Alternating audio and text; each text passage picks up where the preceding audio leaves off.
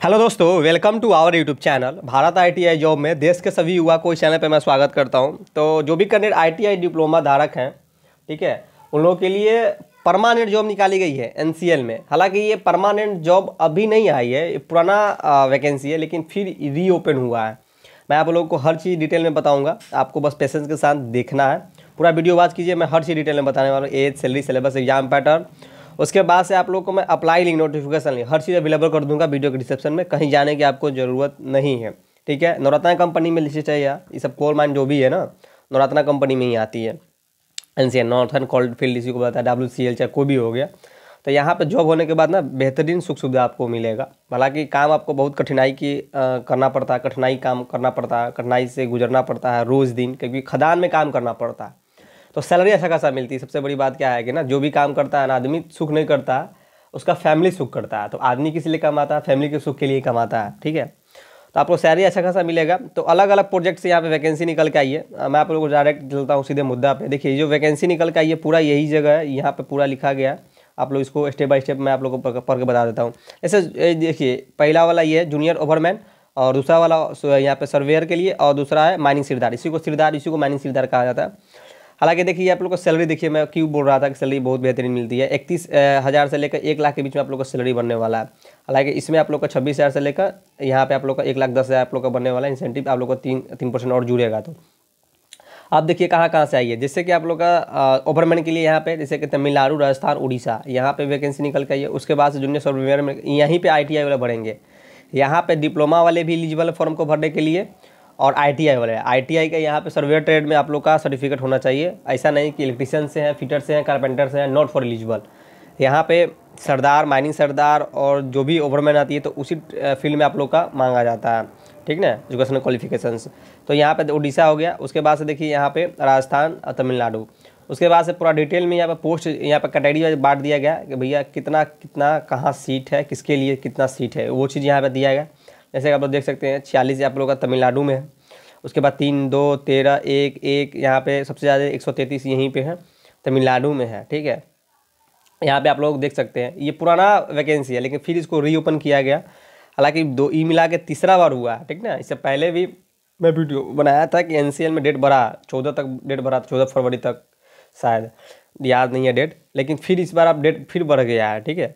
अब देखिए, यहाँ पे आप आप लोग थोड़ा जूम मैं कर देता हूँ, आप लोगों को मैं समझा देता हूँ डिटेल में। देखिए, तीन पोस्ट है, तीनों पोस्ट को मैं आपको डिटेल में समझा देता हूँ। जैसे देखिए, पहला जो पोस्ट है आप लोग का जूनियर मैन के लिए, यहाँ पर देखिए बोला गया डिप्लोमा इन माइनिंग इंजीनियरिंग मतलब कि माइनिंग इंजीनियरिंग में किए हैं एलिजिबल है माइनिंग इंजीनियरिंग और अदर इक्विवेलेंट क्वालिफिकेशन से अप्रूव्ड मतलब कि होना चाहिए। वैलिड ओवरमैन सर्टिफिकेट है तो भी आप लोग एलिजिबल फॉर्म को भरने देखिए डी ये ना डीजीएमएस ये कोल माइन ही देती है ओके और यहाँ पे माइनिंग रेगुलेशन जो भी है दो हज़ार सत्रह वाला, उसी के आधार पे आप ये देती है। तो ये चीज़ यहाँ पे लिखा गया, जिसकी अगर इसको पढ़िएगा तो। देखिए, यहाँ पे माइनिंग रेगुलेशन या सर्टिफिकेट में यहाँ पे आप लोग को प्रोवाइड करती है ओके उसके बाद से फ़र्स्ट हैंड सर्टिफिकेट है, फिर भी आपको पास होना चाहिए मतलब ये बोला गया। जूनियर यहाँ सर्वेयर ट्रेनिंग के लिए। यहाँ पर ध्यान दीजिएगा आईटीआई वाले कैंडिडेट मैं आप लोग को थोड़ा जूम कर देता हूँ, एक मिनट अब देखिए, यहाँ पर बोला गया क्या कि डिप्लोमा माइनिंग इंजीनियरिंग होना चाहिए, ठीक ना? माइनिंग यहाँ पे सर्वेयर में है एलिजिबल है। सिविल में डिप्लोमा किए हैं एलिजिबल है फॉर्म को भरने के लिए।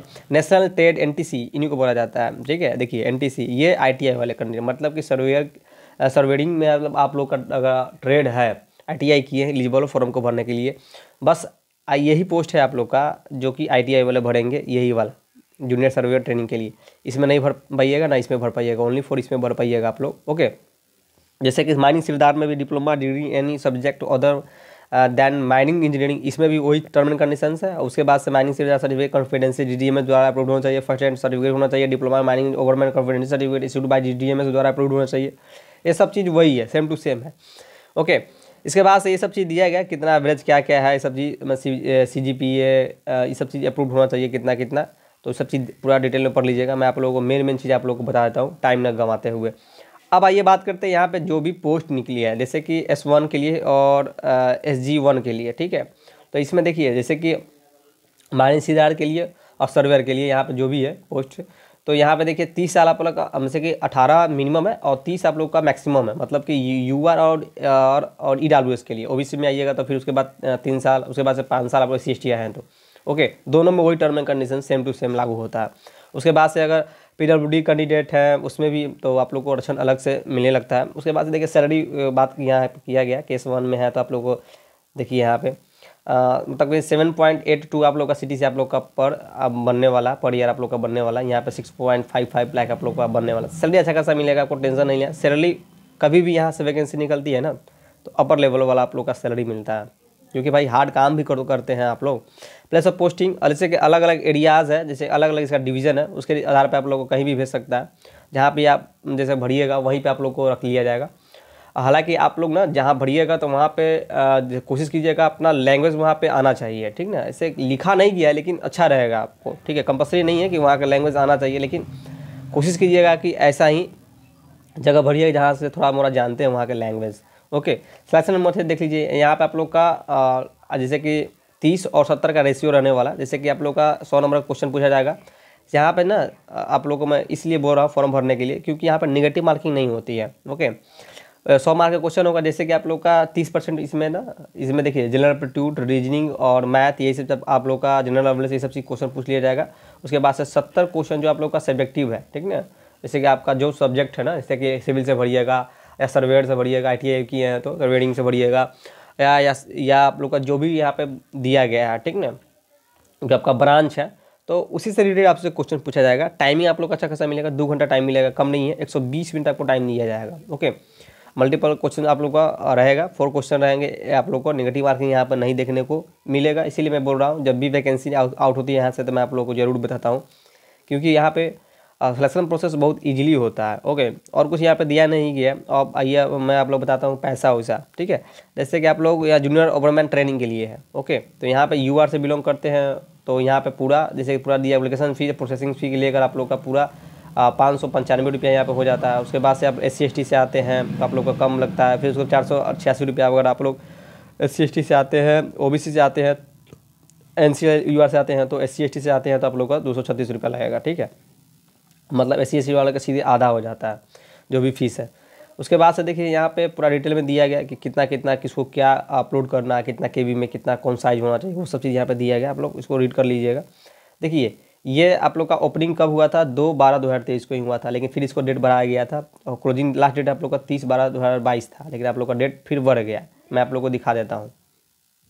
देखिए, यहाँ पे लिखा गया है ना, देखिए, लिखा गया है reopening on online registration or sorry online registration of application date time फिर एक से ये री ओपन हुआ है। देखिए, एक तीन दो हज़ार तेईस से आप लोग का री ओपन हुआ है। और लास्ट डेट देखिए, यहाँ पे दिया गया last date online application payment fee आप लोग का दस तीन दो हज़ार तेईस तक आप लोग, इसको फ़ी भर सकते हैं मतलब कि दे सकते हैं। उसके बाद से last date on application submission application candidate who have the already registration or paid जो किए हैं, उनके लिए मतलब एक दिन और आप लोग का डेट एक्सटेंड हो गया है। लास्ट डेट आप लोग का दस तीन दो हज़ार तेईस रहने वाला है ओके तो जो भी कैंडिडेट यहाँ पे चाहते थे कि भैया मेरा नहीं भराया है, मैं चाहता हूँ फिर से भरना तो यहाँ पे भर सकते हैं।